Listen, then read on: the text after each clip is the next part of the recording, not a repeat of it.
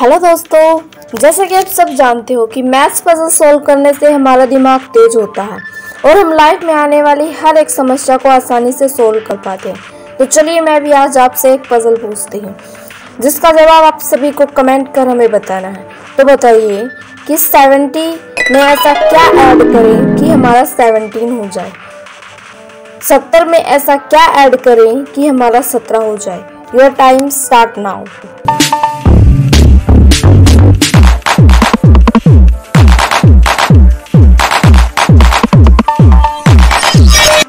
और ये रहा आपका जवाब आ यानी कि सत्रह प्लस आ सत्रह। तो क्या आपको इससे पहले तक इसका जवाब पता था? ये आप हमें कमेंट सेक्शन में लिखना ना भूलें। और इस तरह के वीडियो देखने के लिए हमारे चैनल को लाइक शेयर और सब्सक्राइब करें।